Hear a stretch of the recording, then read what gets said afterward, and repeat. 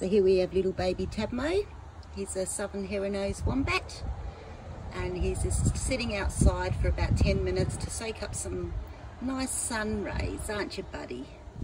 Hey, get some good old vitamin D into you? Yes? So just about 10 minutes is enough for him. Oh, big yawn. Isn't that Tabmow? Just 10 minutes in the sun. Hey buddy? Oh, another yawn. Are you enjoying that sunshine? Do you think that sunshine's pretty good? Yeah, nice and warm on your skin and some fresh air.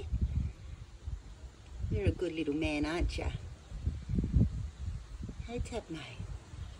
That's lovely in the sunshine, isn't it? No, I think it is. I think you're enjoying that. Hey, precious boy. Yeah. Lovely, isn't it?